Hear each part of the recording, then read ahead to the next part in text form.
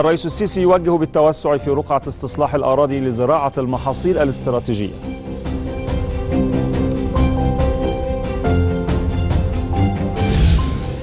في اجتماع برئاسة رئيس الوزراء الإعلان عن آليات صرف منحة الرئيس السيسي للعمالة غير المنتظمة.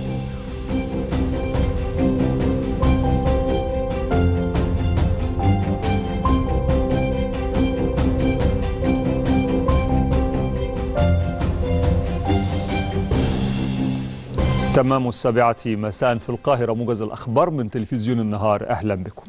وجه الرئيس عبد الفتاح السيسي كافة الجهات المعنية بالتجديد على جميع الشركات بضرورة توفير أقصى درجات الحماية والالتزام الدقيق بالإجراءات الاحترازية وعلى وجه الخصوص ارتداء الكمامات وتجنب التجمعات المزدحمة وذلك حرصا على سلامة كافة المواطنين وخاصة العاملين بمختلف المشروعات بأنحاء الجمهورية. جاء ذلك في إطار تفقد الرئيس عبد الفتاح السيسي بعد ظهر اليوم لبعض المواقع المشروعات الإنشائية وفي ضوء ما تلاحظ لسيادته من عدم تطبيق الإجراءات الاحترازية لحماية العاملين بالموقع.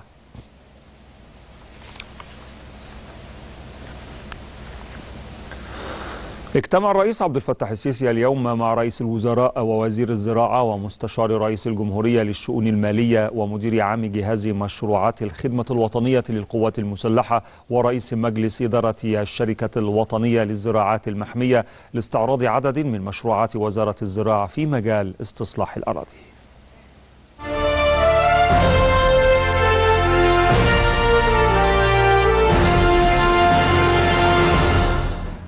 اجتمع السيد الرئيس عبد الفتاح السيسي اليوم مع الدكتور مصطفى مدبولي رئيس مجلس الوزراء والسيد السيد القصير وزير الزراعة واستصلاح الأراضي واللواء محمد أمين مستشار رئيس الجمهورية للشؤون المالية واللواء مصطفى أمين مدير عام جهاز مشروعات الخدمة الوطنية للقوات المسلحة واللواء محمد عبد الحي رئيس مجلس إدارة الشركة الوطنية للزراعات المحمية. وصرح المتحدث الرسمي باسم رئاسة الجمهورية بأن الاجتماع تناول استعراض عدد من مشروعات وزارة الزراعة في مجال استصلاح الأراضي. وقد وجه السيد الرئيس بالتوسع في رقعة استصلاح الأراضي على مستوى الجمهورية مع بلورة خطط زمنية محكمة الجوانب في هذا الإطار وذلك على نحو يعزز القيمة الاستثمارية لهذه الأراضي من خلال زراعة المحاصيل الاستراتيجية وتربية الثروة الحيوانية. وما ينتج عن ذلك من زيادة النشاط العمراني والتنموي والخدمي. وقد عرض وزير الزراعة في هذا الصدد الموقف التنفيذي لبعض المشروعات التنموية بمنطقتي جنوب الوادي وشمال سيناء مشيرا إلى مختلف المقومات المتميزة التي تتمتع بها تلك المناطق لتوفير فرص العمل من خلال إقامة مجتمعات زراعية وصناعية متكاملة تقوم على استصلاح الأراضي. كما استعرض السيد اللواء مدير عام جهاز مشروعات الخدمة الوطنية للقوات المسلحة جهود التنسيق مع وزارة الزراعة لدعم خطط التنمية الزراعية في مصر وتعزيز الأمن الغذائي بمختلف عناصره بالإضافة إلى تحقيق التكامل فيما يتعلق بمشروعات الإنتاج الزراعي والحيواني لتعظيم الاستثمارات وتوفير فرص العمل.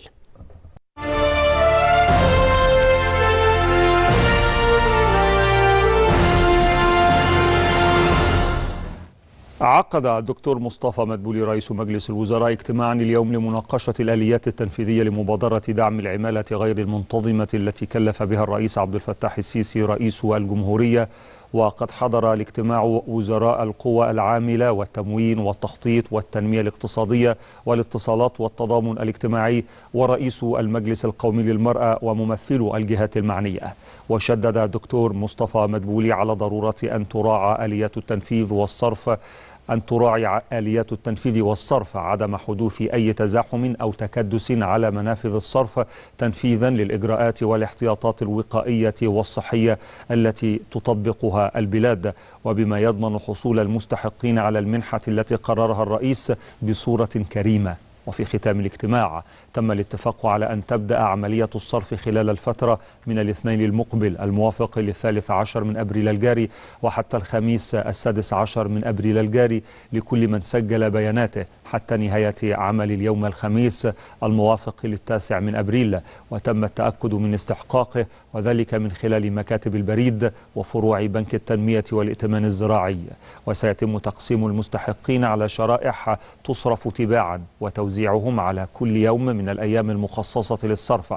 وتمت الإشارة إلى أنه سوف يصل لكل مستحق رسالة نصية على رقم التليفون المحمول المسجل ضمن بيانات المستحق قبل 24 ساعة من اليوم المحدد للصرف وهب مجلس الوزراء بالمستحقين عدم التوجه لصرف المستحقات إلا بعد أن تصلهم الرسالة سالفة الذكر وسيتم تخصيص يوم عقب انتهاء المدة من أجل صرف مستحقات من سيتخلف عن الصرف في اليوم المخصص له.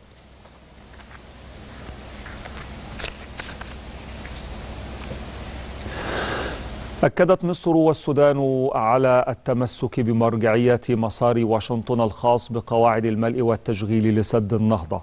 وبحث رئيس الوزراء الدكتور عبد الله حمدوك اليوم في الخرطوم مع وزير الري والموارد المائية الدكتور محمد عبد العاطي ورئيس المخابرات العامة اللواء عباس كامل المستجدات على الساحة الإقليمية. وأوجه التعاون الثنائي بين السودان ومصر في مختلف المجالات وتطورات ملف سد النهضة. واستقبل حمدوك المسؤولين المصريين بحضور وزير الري والموارد المائية السوداني ياسر عباس ومدير المخابرات العامة السوداني الفريق جمال عبد المجيد. وأكد الطرفان في تصريح صحفي مشترك على التمسك بمرجعية مسار واشنطن الخاص بقواعد الملء والتشغيل لسد النهضة وما تم التوافق عليه في هذا المسار وإعلان المبادئ الموقع بين الدول الثلاث في العام 2015 كما ناقش الطرفان ترتيبات الزيارة المرتقبة لرئيس الوزراء السوداني الدكتور عبد الله حمدوك إلى القاهرة وآديس أبابا في القريب العاجل. كان هذا موجز السابعة مساء من تلفزيون النهار. دمتم بخير وإلى اللقاء.